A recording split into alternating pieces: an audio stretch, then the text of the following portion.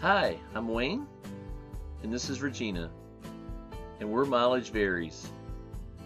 Join us as we transition into full time RV life and follow our motto of start small and start now. So, today I wanted to talk a little bit about buying a tow vehicle. so, if you've watched our last video, you know that we were on a 10 year plan. So, two years ago, well, really, three years ago, we got her Camry, and she has always loved Camrys, always had Camrys. And so it started making a noise, and this was our fault. We kind of let it go a little long. It was a, it was a bad noise. So Water pump had broken. yeah, she drove it to the dealership, and I was going to pick her up. So I show up at the dealership, and I see her car in the service bay with smoke and fluid pouring out of it. So My bad. Yep, she, she got a Camry, and then two years Another later, I had a, a Chevy Colorado, an 05 Colorado that I had for 15 years almost. I think it was no, but thir- thir- 13 years, 14, something like that. So I traded that in on a Kia Soul because we thought, you know what, 10 years. Um, the Kias have the 10 year, 10,000 mile or 100,000 mile warranty.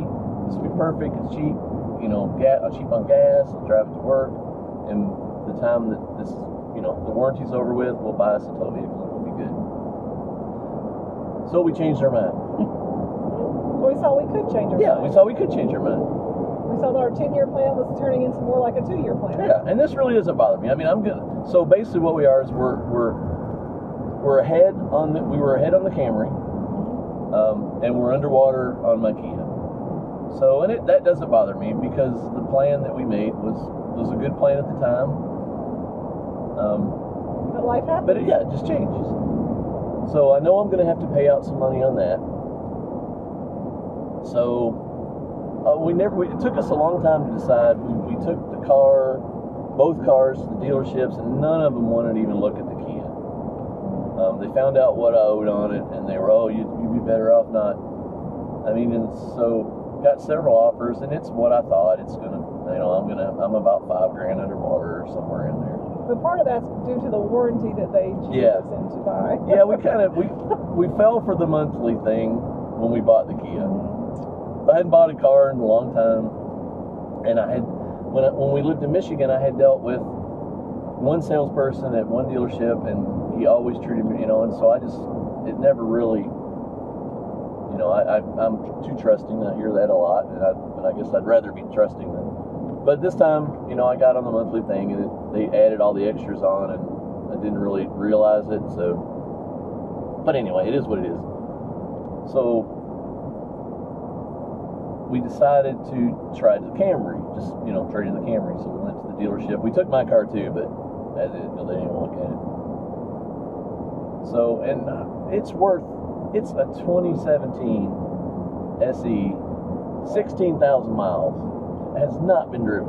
And the only the only thing wrong with the Camry at all was the fact that I, my car got keyed somehow. Like on the on the back driver's side door, there was a there was a scratch down to the metal, kind of going diagonally across the car. That was it. Yeah, Other than that, and you know, just a little bit of dirt and leaves that there wasn't. A, there wasn't a stain on the seat. There wasn't. Mm-hmm. You know, The interior looked pristine, like it was just, you know, it just came off Yeah. a lot once we cleaned it up and, you know, just vacuumed it out and nothing. Everything worked. Every button, every switch, everything. Um, so they lowballed us. Oh, they put us in this Tundra. um, oh, to drive it. We drove it. We really liked it.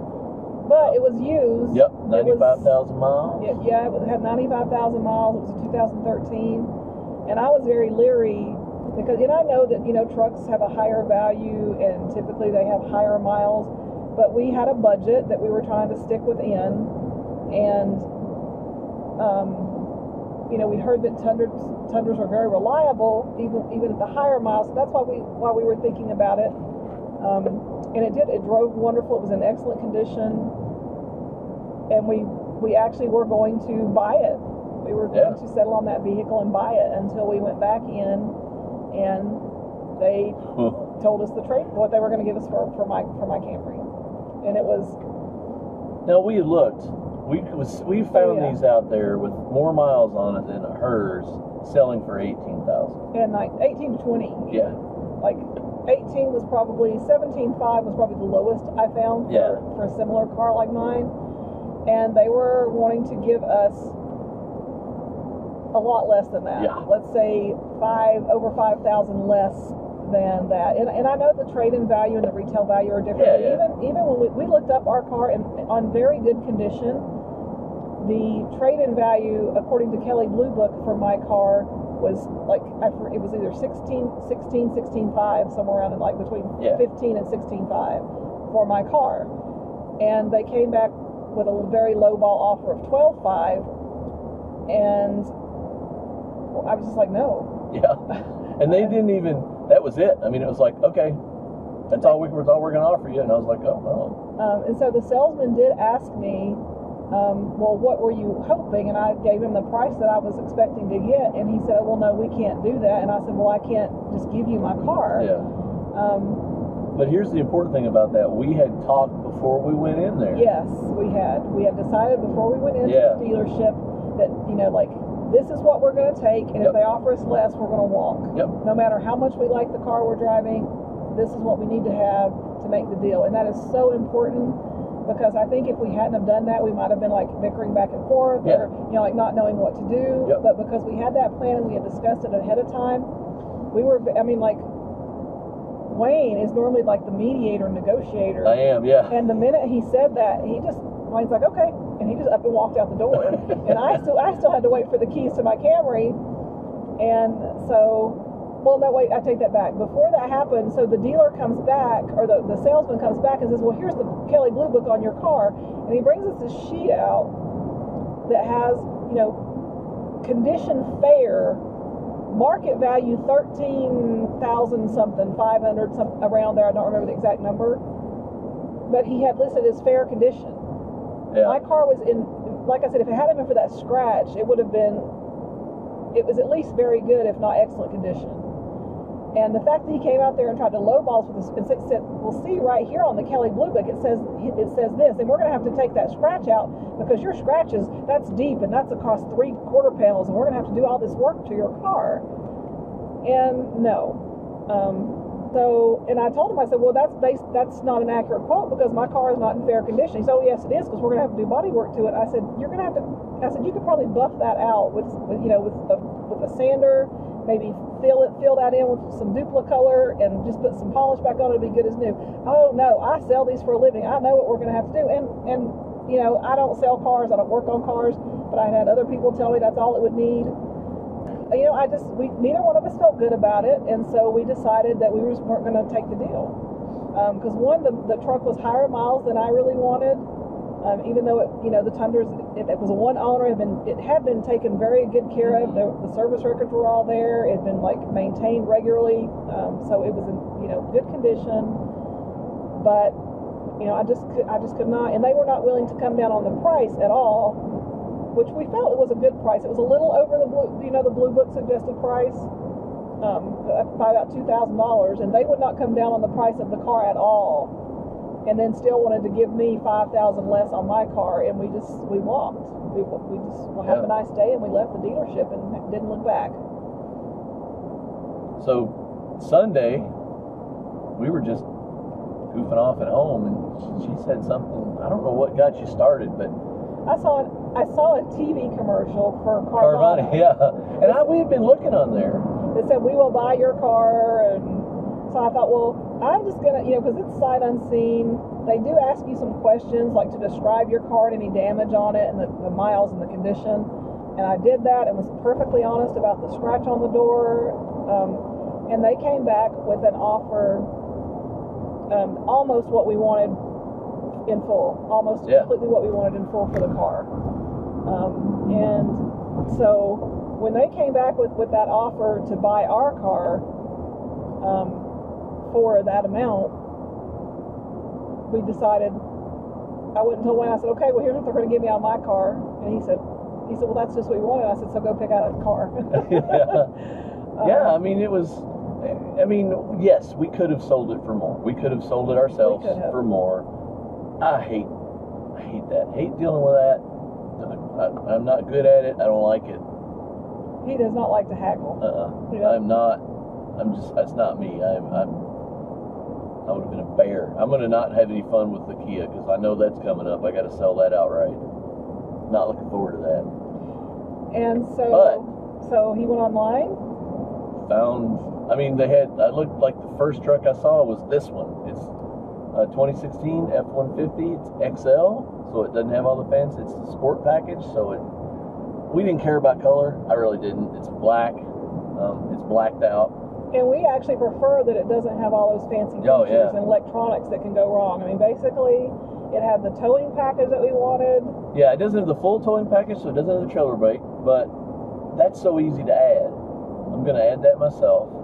Um, it has like the towing thing on the steering where I can tell it what kind of trailer and stuff I have, and it will it'll help with you know that adjust that'll help with the towing when I put the tow brake on, and it'll help with that. It has the the sway control and the steering, the automatic thing.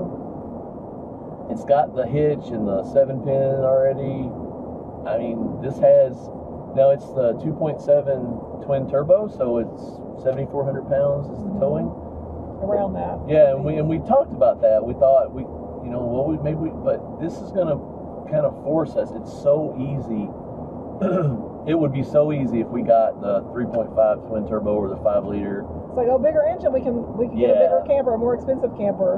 Yeah, And so we felt like by sticking with with this particular size of truck, with this towing capacity, that would force us to stay within our budget. And our motto. And our motto with the camper, which is start small, start now. start small, start now. I don't know Um, where we heard that. We heard it somewhere. I heard it off some video from someone else on YouTube, and I'm sorry I don't know who, but shout out to you. if I see it again, that. we'll we'll, Yeah. we'll mention it because because that has really stuck with me when they said that. you know. So whenever we look at like a bigger trailer or something, we just think, you know, oh, this would be so nice to have. And we're like, yeah, but it's going to cost more, and so that's kind of where we're at with the trailer too. So that will definitely be a couple of videos or more. Yeah, but um, but we have learned so much because she is a researcher. She is all about research, yeah. and I've we have hundreds of campers. we have Oh my goodness. spreadsheets galore. I so do. I have an Excel spreadsheet. when we get all this figured out, we'll be putting all these up for people. Maybe they'll help. Yeah, maybe people it'll help somebody yeah. else. Because it, it that's to me is, is like the most stressful part was one getting the tow vehicle, figuring out what tow vehicle, you know. What, And then there's even what order? Do you get the Yeah. trailer first or the tow vehicle Yeah. first?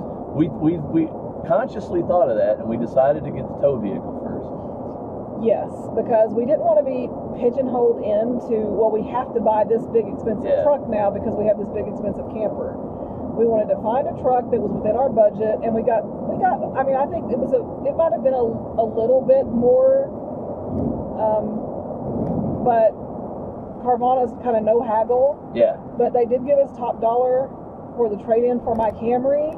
and this And- thing only has twenty five thousand miles on it. It only has 25,000 And get this. Now we're not towing, and these things aren't exactly right, but our average MPG on the highway here is 24 and a half in a truck, full size truck. Yeah, and it was like 18 and a half in the you know in the city, Yeah. and we know it'll it'll go down probably with the towing, and that was another consideration uh, that we'll talk about later about the camper is you know the heavier Yeah. the camper, probably the, the worse And it's going to be on fuel. you know we'll be going to places to see things, to hike and to see stuff, and so we'll be driving there. So a more economical fuel mileage will save us money.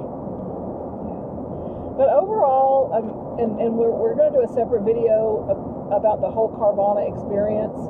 So I don't want to get too much into that, Mhm. but we just kind of wanted to, to speak today about just, you know, how hard it was going in there. We thought we had our heart set on a truck and we, we drove it. We really liked it, even though it was on higher miles. And, but you have, the, the thing we wanted to, to kind of get across the most in this video is you, is, you know, you have to make that decision before you go in to deal with a dealer of what your bottom line is, and you have to be able and willing to get up and walk away if they don't meet it, because there's there's more dealers out there, there's more vehicles out there. You have to be willing just to get up and walk away. Okay, guys. Well, I guess that's going to be it for today. Um, if you like this video, please give us a thumbs up, and we hope you subscribe to our channel because, like I said, we're going to be doing many more videos um, as we prep and uh, get ready for our RVing adventure. So you guys have a great day, and we'll see you next time. See ya.